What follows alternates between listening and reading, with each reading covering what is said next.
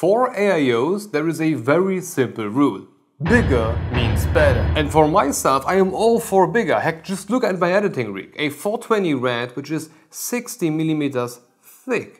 And I even tried to squeeze in another 360, but unfortunately for my own sick fetish, it, it just didn't fit. Now Arctic knows this rule, which is why all of their liquid freezer AIOs are coming with a 38mm thick rad instead of the usual 27 that most other companies provide. However, thickness is not everything. And let's not lie to ourselves, size does matter too. Meet the Liquid Freezer 420 ARGB, the biggest, thickest, most insane out-of-the-box water cooler that you can get right now.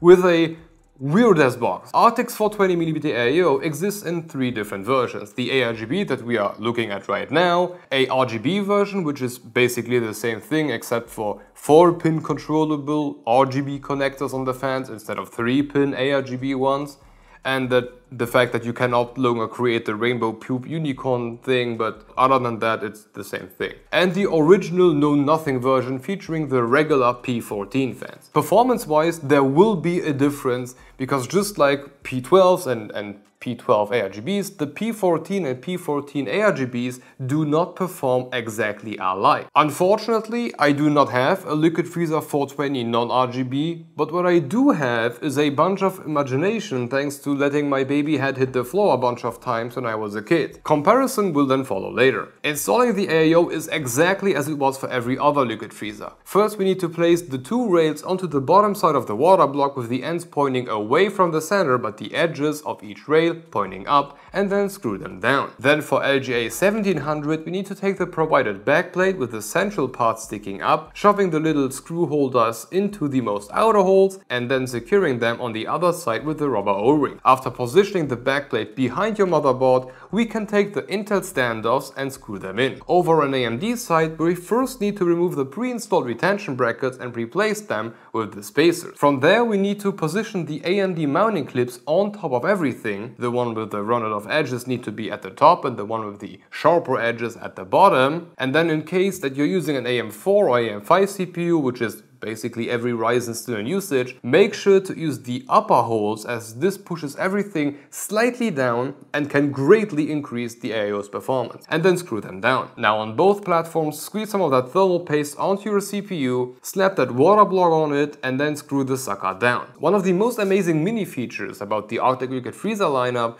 is that they made sure to minimize cabling to the fullest extent possible. To get the AIO running, all you need to do is install the two cables coming out of the water block the 3-pin ARGB for light and the 4-pin PWM for fan speed. From there you don't need to do anything. Arctic made sure to route both wires through the 450mm long tubes where both cables exit at the radiator and then immediately go into the fans. Everything nicely secured and tightened up using zip ties. Minimal overhang, minimal cable cluster, truly amazing. To quickly finish off the about section, in case you go for the ARGB version, you will get 1900 RPM fans pushing 68.9 CFM at 2mm of H2O, all controllable via your motherboard software. And for the all-black version, you will get 2000 RPM quick ones pushing 72.8 CFM at 2.4mm of H2O. But it's not really about the fans. Probably the biggest contributor to the LF2 series performance is the radiator. The 420mm big rad is actually 38mm thick, making it one of the thickest available in an AIO package. And as a little bonus, the Millennium Falcon that Arctic calls Waterblock has a tiny whiny thing on there that blasts some air onto the VRM heatsinks. You may not need it, or I'm, I'm pretty sure you don't, but it definitely helps. And then as a last info, you can mount this thing on top of an LGA 17, 12, every 1150, 2011 and 2066 socket for Team Intel. And for Team Red, it's AM5 and AM4. Now, before we proceed, if you were to decide to go for this nuclear power plant cooler, keep in mind that having socket support does not mean that this thing will fit in. It's a 420 rad. And if you were to add up the little part where the tubes go in and out, and the bottom part, we are looking at 458 millimeters. So before you make any purchase, check if your case has at least 470 millimeters in the front or top. And I'm not talking about like the outer size. You want to have more than, let's say at least 458 on the spot where it needs to go, otherwise it will just not get in. Okay, with everything covered, Let's get to the benchmarks. While letting all of the fans spin at 100% of their max speed, we witnessed the epitome of stoicism that makes up the upper range of Arctic's liquid freezer lineup. At 41.9 degrees C above ambient, the 420 version managed to outperform its 280 counter version by a whopping 0.1 degrees C. Absolutely staggering. Now we are pushing 130 watts through the socket for our CPU cooler review. And well, that's just not enough to create a real difference. But this changes once you push up the wattage. Take our Ryzen 7000 cooling videos for example. For the 7950X, the difference between a LF280 and a LF220 are pretty substantial. Our 3900X, however, just doesn't really seem to care. That being said, if there is one thing to take from this graph, then that the Liquid Freezer 420 ARGB is the absolute beefiest, fattest, best performing AIO there is right now. And after performing some of our magic voodoo stuff, the Liquid Freezer 420 non-RGB turned out to be exactly the same. On the noise to performance side, however, we start to see why a 420 could make sense. Thanks to the additional rad size and fans, both 420 versions were able to keep the noise to performance ratio significantly lower compared to any other versions once we turned down the speed. And just to give you some sort of comparison, where it's letting the Liquid Freezer 420's fan spin at 30% fan speed, which is already at noise floor in our room, at that point, the Noctua NH-D15 hasn't even been able to start playing the game at all. We would need to heat the back of the RAD with a propane torch to get them to perform somewhat the same. Absolutely incredible. So where does this leave us? Well, this thing is a monster. No doubt there. I have not seen anything performing as exceptionally well as this thing.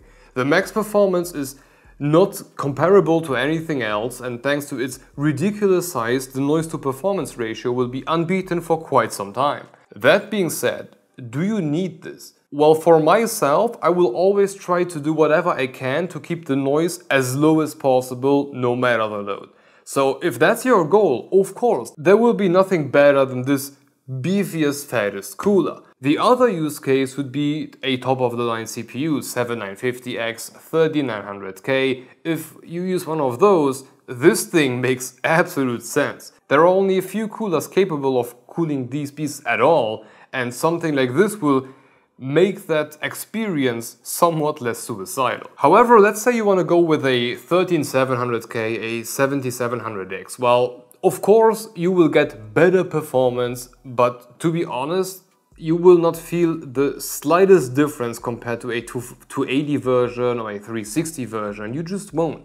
That thing is more than good enough to handle the job. So yes, we do absolutely recommend this cooler. Of course we do. Just keep in mind that if you don't have the hottest hardware out there, this will basically be overkill. You, it will be overkill by a huge margin. On a side note, yes, the VRM fan is still there. The Millennium Falcon is still present and it is still spitting some air onto the VRM heatsinks. And no, you don't need it, but hey, it helps. It gets you a couple of degrees as we've seen in the Liquid Freezer 360 review. I don't want to call it, call it a gimmick, but assuming that you have a decent case and uh, your fans are not uh, like imaginary friends, you really don't need it. But okay, this should be it for the Liquid Freezer 420 and 420 ARGB. At this point, a huge thank you to Arctic for sending it over, but if you want to keep watching, have a look at our take on the Arctic Liquid Freezer 360 ARGB.